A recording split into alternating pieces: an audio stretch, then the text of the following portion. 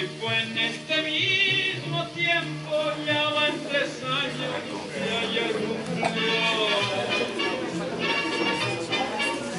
Cuando una terrible peste en el costero se lo llevó. Parece que me llamaba, un